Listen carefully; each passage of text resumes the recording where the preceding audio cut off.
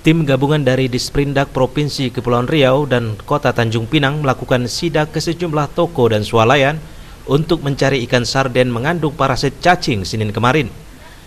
Selain di swalayan, petugas juga mendatangi gudang distributor ikan sarden di sejumlah tempat di Tanjung Pinang. Hasilnya, petugas menemukan sebanyak 300 dus dari 27 merek ikan kaleng yang terindikasi mengandung parasit cacing. Pihak distributor berdalih ratusan dus ikan sarden merupakan barang penarikan dari sejumlah toko dan swalayan dan rencananya akan dikembalikan ke distributor di Kota Batam untuk dimusnahkan.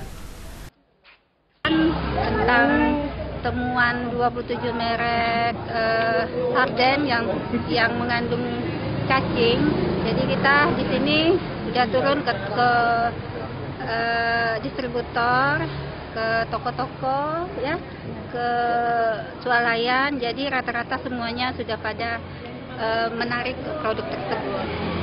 Ada sekitar 300 lah Untuk produknya apa aja Bu, mereknya? Produknya kita ada 27 itu ya, 27 merek. Disperindak Kepri mengimbau masyarakat untuk berhati-hati dan segera melaporkan bila menemukan produk ikan kaleng berparasit untuk mencegah jatuhnya korban. Dari Tanjung Pinang, Malana Sution, Ainus memberitakan.